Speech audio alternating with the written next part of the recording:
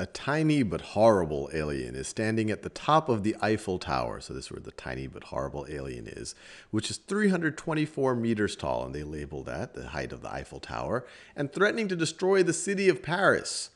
A men in black, or I guess a or a men in black agent. I was about to say maybe it should be a man in black. A men in black agent is standing at ground level 54 meters across the Eiffel Square. So 54 meters from, I guess you could say, the center of the base of the Eiffel Tower, aiming his laser gun at the alien. So this is him aiming the laser gun. At what angle should the agent shoot his laser gun? Round your answer if necessary to two decimal places.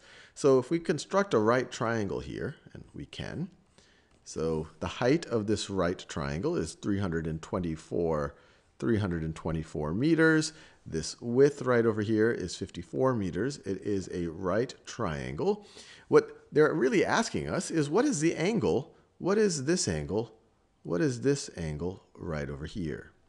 And they've given us two pieces of information. They gave us the side that is opposite the angle, and they've given us the side that is adjacent to the angle. So what trig function deals with opposite and adjacent? And to remind ourselves, we can write, like I always like to do, SOHCAHTOA. And these are really by definition, so you, you just kind of have to know this, and SOHCAHTOA helps us. Sine is opposite over hypotenuse. Cosine is adjacent over hypotenuse. Tangent is opposite over adjacent.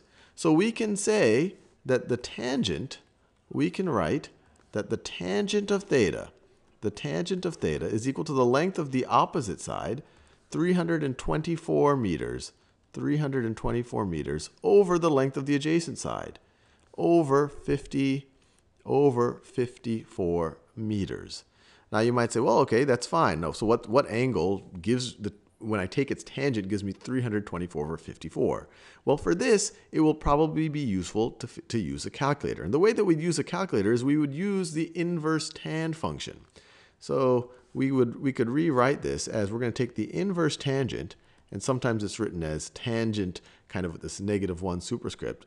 So the inverse tangent of tan of theta is going to be equal to the inverse tangent of 324, 324 over 54, over 54.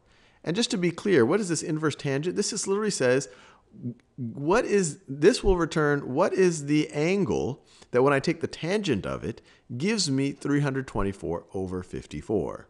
This says what is the tan what is the angle that when I take the tangent of it gives me tangent of theta. So this right over here is just going to this just simplifies to theta. Theta is the angle that when you get the tangent of it gets you tangent of theta. And so we get theta is equal to tangent inverse tangent of 324, 324 over 54. Once again, this inverse tangent thing you might find confusing, but all this is saying is, over here we're saying tangent of some angle is 324 over 54. This is just saying is my angle is whatever angle I need so that when I take the tangent of it, I get 324 over 54. It's how we will solve for theta. So let's get our calculator out. And let's say that we want our answer in degrees. And actually they should, well, I'm just going to assume that they, they want our answer in degrees. So let me make sure my calculator is actually in degree mode. So I'll go to the second mode right over here. And actually it's in radian mode right now. So let me make sure I'm in degree mode to get my answer in degrees. Now let me exit out of here.